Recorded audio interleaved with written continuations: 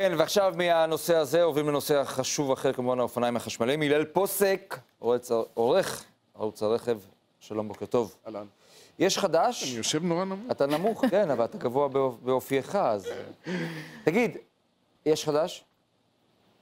אין חדש, יש שני שרים שרבים אחד עם השני על גבי uh, כל כלי התקשורת, זה אומר שההוא אשם, ההוא אומר שההוא אשם, ובסופו של דבר אנשים ממשיכים להיהרג על אופניים חשמליים כי הם נמצאים ליד כלי רכב, כי הם לא יודעים לרכוב, כי אין תשתיות, כי אף אחד במשך 15 שנים האחרונות, כולל השר גלעד ארדן, כולל השר ישראל כץ, לא דאג לסדר את כל העניין הזה של חבר'ה צעירים בלי ידע מוקדם עולים על הכביש ונוסעים בין אוטובוסים, משאיות ענק, מכוניות ונהגים עצבניים בדרך לעבודה בבוקר. דוברת המשטרה איתנו על קו הטלפון, מירב לפידות, שלום, בוקר טוב גברתי. בוקר אור אטילה. יש ויכוח, ובעיקר יש אמירה של משרד התחבורה שאין כוונה לעשות רגולציה, או להטיל כל מיני סנקציות של רישוי, נקרא לזה כך, על רוכבי האופניים. אתם, במשטרה, המלצתם כן לעשות זאת? אנחנו המלצנו על מספר צעדים. תראה, בסופו של דבר... אנחנו רואים מה קורה בכבישים, ואי אפשר להתעלם מזה, ואי אפשר לטמון את הראש בחול ולא לשים לב לכך שנהרגים אנשים, נפצעים אנשים, וזה מסכן בעצם את כל משתמשי הדרך, אלה של המדרכות, אלה של הכבישים, גם רוכבי אופניים וגם אחרים. בסוף צריך לעשות משהו. אנחנו מבינים את האילוצים שברישוי, ולכן אנחנו דרשנו ומבקשים עדיין ממשרד התחבורה לעשות את זה כי זה בסמכות שלהם ולא שלנו. אנחנו מבקשים לחוקק אפוד זוהר לא יכול להיות שרוכבים ירכבו באמצע הלילה, בלי קסדה, בלי אפוד זוהר, בלי פנס, ולצפות מנהג שחולף בשתיים או שלוש או ארבע לפנות בוקר לראות את הדברים. מסכים איתך לחלוטין, אתמול בלילה, אחת בלילה בתל אביב, נתקלתי בתופעה הזו. אבל עכשיו שאלה אחרת. צריך קסדה, חובת קסדה, צריך חובת תיאוריה. לא יכול להיות שאדם בגיל 16, ילד עולה על הכביש, רוכב על האופניים החשמליים שלו, בכבישים, לא יודע את החוקים, לא יודע את חוקי התנועה. לרגע הוא על הכביש, מגיע לרמזור אדום, הוא עובר על האי תנועה, אנחנו רואים את זה בתל אביב יום-יום, עובר על האי תנועה עם uh, מעבר החצייה וממשיך לנהוג מהצד השני, לא יודע מה משמעות התמרורים, מתי זה העת, מה החובה של עצור, לא יכול להיות... ש... רגע, בואי נעשה סדר. את אומרת, כן. אפוד, קסדה, תיאוריה. קסדה, תיאוריה, ובנוסף לזה תשתיות. במקומות בהם רשויות מקומיות נרתמות, מסלולי אופניים, חינוך נכון, הורים, וכל אלה זה בתחום הרגולציה ותשתיות. בסוף גם יש אחריות הורית. מה התפקיד שלכם אחר... כרגע עד שכל זה יקרה? כי הרי אין אכיפה. אנחנו עושים שני דברים מרכזיים. אחד שהוא בתחום הסמכות שלנו זה אכיפה. בין 2017 ל-2018 יש עלייה של 64% באכיפה. אנחנו עושים שאנחנו יכולים. בסוף זה צריך להיות משולב. תשתיות, רגולציה ואחריות הורית. הורים שמעלים את הילדים שלהם על אופניים, תוודאו שהם שמים קסדה, תוודאו שהם מכירים את התמרורים, תוודאו שהם עולים רק מעל גיל 16, אנחנו רואים ילדים בני 14 על אופניים חשמליים. לא רק שזה... אבל מירב לפיתות, מי כמוך יודעת שאם יש ניידת באמצע צומת, ופתאום השוטר קולט רוכב אופניים, וזה קורה כל הזמן, בטח באזור המרכז בתל אביב, הופ, חוצה באדום, הופ, עולה על המדרכה, הופ, קופץ לכביש, הופ, עושה מה שבא לו. אין שוטר בעולם שירדוף אחרי האיש הזה, או יתפוס אותו או יעצור אותו. אין, אין חיה כזאת. אני לחלוטין לא מסכימה עם האמירה שלך. עלייה של 64% באכיפה היא לא נובעת מזה שיושבים אה, במשרד ובתוך הניידת, אלא מזה שרודפים ואוכפים, ואנחנו ממשיכים לעשות את זה, ומשנה לשנה יש עלייה באכיפה. כמו שאמרתי, לצערי, רק אכיפה לא מספיקה. בסוף אתה לא יכול לשים את כל השוטרים רק בכל צומת שירדפו אחרי רוכבי אופניים. יש עבירות תנועה, יש משאיות, יש אוטובוסים, יש ארגוני פשיעה. אבל, אבל אתם אומרים, אתם אומרים שיש עלייה של... רק רגע. אתם אומרים שיש עלייה של 64 אחוז במספר... אגב, גם לפקחים עירוניים יש סמכויות נכון, אכיפה. נכון, נכון, נכון. אתם, אתם אומרים... צריך לשים את הדגש. נכון, אתם אומרים שיש 64 אחוז עלייה במספר הדוחות שנרשמו לרוכבי אופניים וכן הלאה.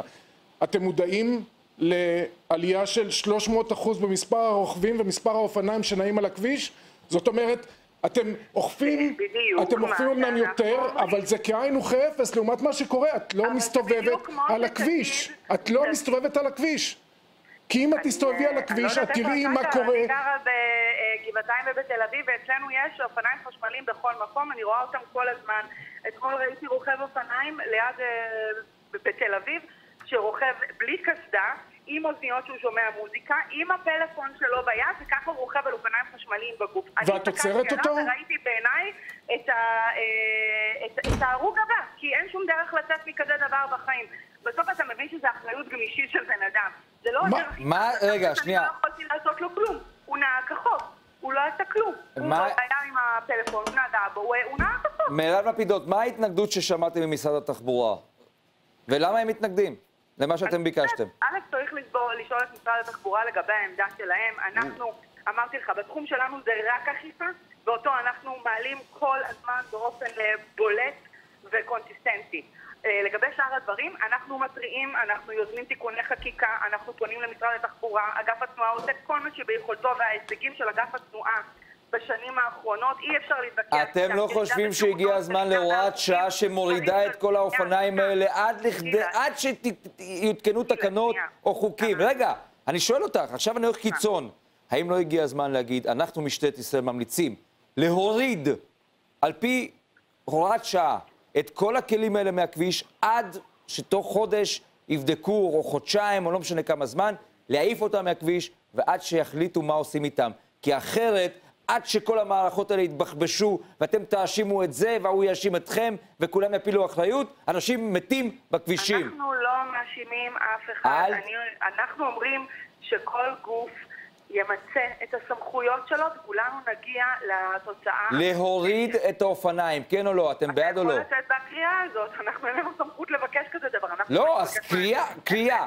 את מוכנה לקרוא לדבר כזה שיקרה? להעיף לא, אותם לא מהכביש? מוכנה, אני לא מוכנה מזה. אני מוכנה להגיד שאנחנו עושים כל מה שאנחנו יכולים, ולמעלה מכך, ומתריעים, ויוזמים תיקוני חקיקה, גם כאלה שהם לא בתחום הסמכות שלנו, אנחנו מפנים אותם לגורמים הרלוונטיים. מפכ"ל המשטרה לא סתם הגיע לפני חודשיים למשרדו של השר כץ, ודיבר איתו, ושוחח איתו, והתריע על המצב. אנחנו רואים מה קורה בכבישים, אנחנו, התפקיד שלנו זה לאכוף. ולהתריע וליזום גם מעבר לתחום הסמכות שלנו, ואת זה אנחנו עושים ונמשיך לעשות.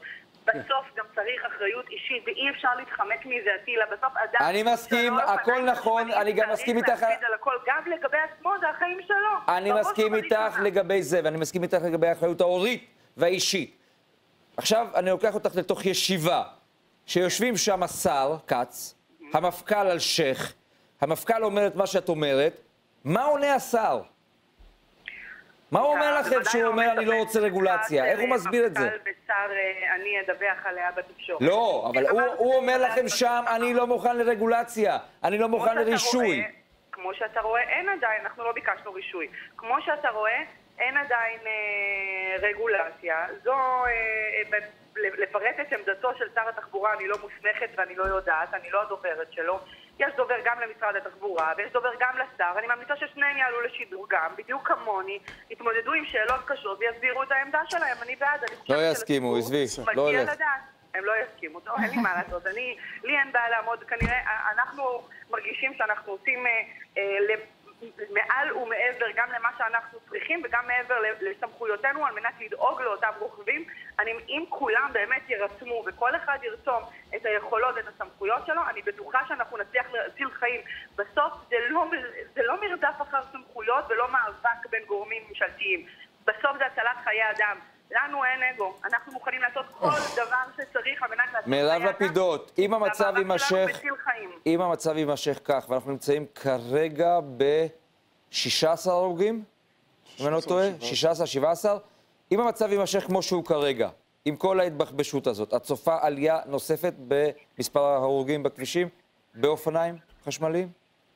סליחה, לא שמעתי? האם את צופה עלייה נוספת במספר ההרוגים, אם המצב לא ישתנה? אה, קטונתי מלהיות אה, נביאת דם. אני מאוד מקווה שזה לא יקרה. אין, באמת.